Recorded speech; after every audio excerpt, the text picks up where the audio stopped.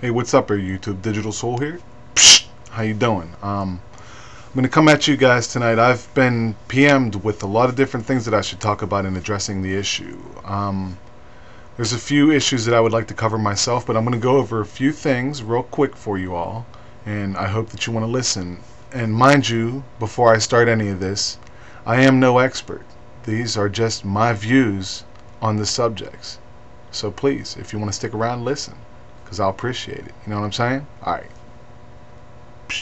One more time, one more time, one more time, one more time, one more time, one more time, one more time. Go!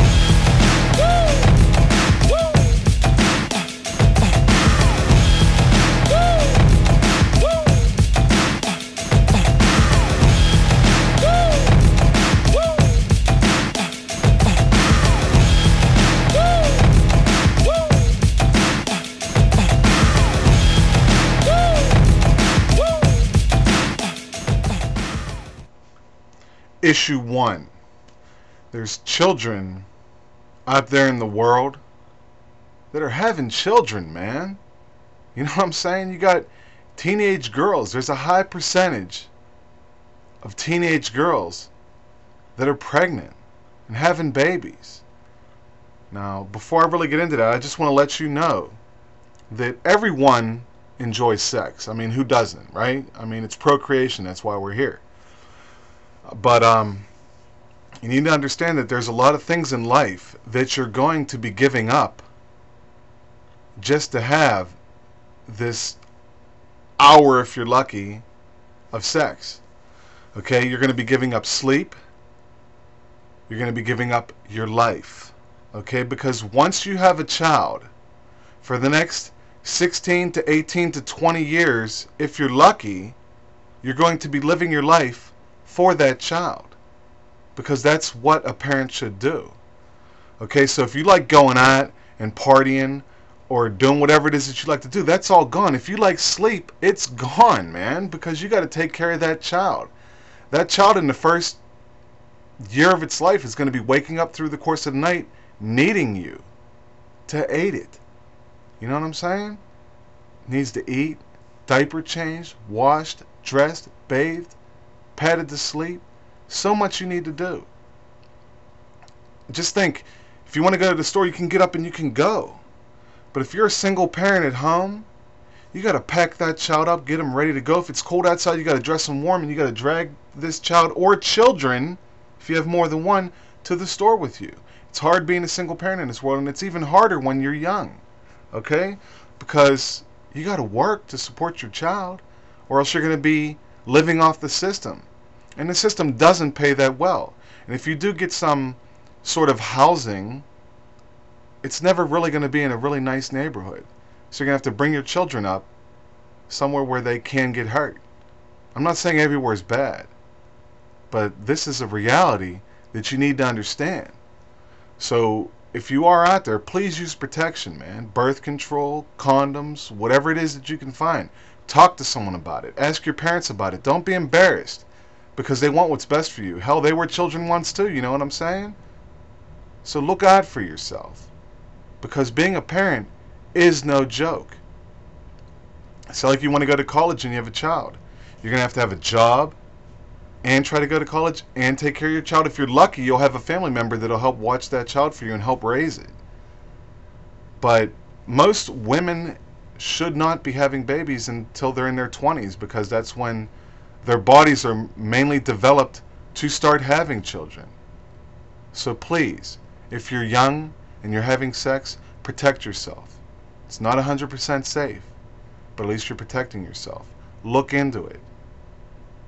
It's more than just fun. It's a responsibility. Because if you bring a child into this world, you are responsible for it. You will be giving up your life for that child. That's what it is. You're born, your parents raise you, you have a child, you raise that child. Someday that child may have a child, and then you could sit back and watch the good job you did on your child raising theirs. So please, think before you act. It's no joke. I love being a parent. I live my life for my child. I take, I take away from my sleep to do what I'm doing here now because this is my hobby. but my son comes first. So please, I know I've said it, but please think before you act. Alright? Issue 2. Now, I'm not going to try, to try to label this on anyone, but it's known to be happening with a lot of people that are titled emo. I hate titling anybody because there's preps, jocks, nerds, headbangers, you know, whatever. There's a lot of people in this world. But people seem to want to hurt themselves. People get depressed in life, and there's something that's called cutting. Okay, where they either cut themselves in their arms or their legs to release the pain because they say, well, if your hand's hurting, step on your toe, take away the pain. If you're hurting here, cutting yourself isn't really fixing it. You're just directing the pain somewhere else. Or if you get angry and you go over and you punch a wall, you're hurting yourself. There's other ways to deal with situations. You'd be surprised what talking to someone can do for you. When you're young in this world, problems seem so much bigger than they actually are. I'm not saying that there aren't some real problems out there, that there aren't some things that people just can't deal with, but that's what talking to people helps. If you need to seek a counselor, or your parents. Your parents are the number one people you can talk to. And if you can't talk to your parents, seek a counselor. Talk to a teacher. Talk to someone. Don't hurt yourself. Why would you want to take a knife or some kind of sharp object and scar your body? Everyone's beautiful, man. Don't do that to yourself. That's forever. I know people that have cut themselves to even erase someone. If someone's hurt you in life, you cut yourself, then you look at that scar and it reminds you that you forgot about that, that you're over that. But you could beat it here. Don't mutilate your body. Don't cut yourself. Please. I know there's a lot of people out there in the world that do this sort of thing. And I can't understand why. The world isn't that bad a place. It does seem like it's caving in on you, and when problems do happen, they tend to happen one after another. It's like they say, when it rains, it pours. But there's no reason to damage yourself.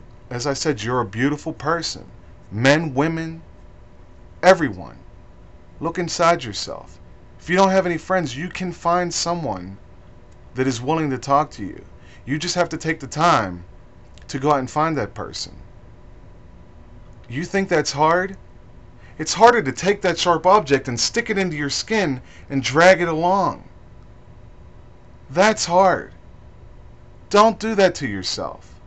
Please, I'm begging you. If you're a cutter, stop now. Talk to someone because it can become an addiction.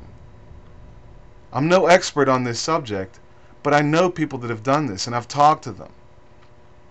And I hope that they stop. Alright? That's issue two. I'm probably going to go into that one some more because that's a serious, serious issue. Okay? So please stop doing it. Because I care. Alright, those are the two issues that I touched on this evening. Um, I'm going to try to bring it up a note now. Bring it up a notch! Bam! Emeril. Um, the 101 with DirecTV contacted me. They sent me an email through an FTP server, I uploaded my information to them. So hopefully you guys will get to see me on The Fizz. Mr. Safety Corey, head dog, leader, running it. That's the guy they're running with. And they're also running with some good karma people here at YouTube. So I've posted a link before, but I'm going to post another one up here for you. I'm going to post another one over here in the profile description. I'm going to put up Mr. Safety's link. I'm going to put up the 101 link and you can watch their video and at the very end of the video they give you an email where you can contribute to them. Send them some information. If they like it they'll use it.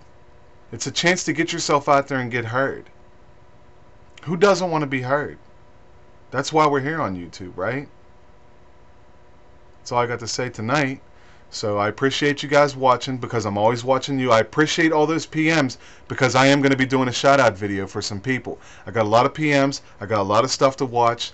And I'm going to be promoting some people out there. I'm going to help pull them up.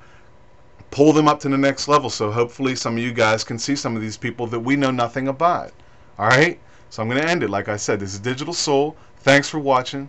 Thanks for subscribing. But you never have to because I'm easy to find, alright? And I'll see you guys when I see you. Peace. One more time, one more time, one more time, one more time, one more time, one more time, one more time. Go!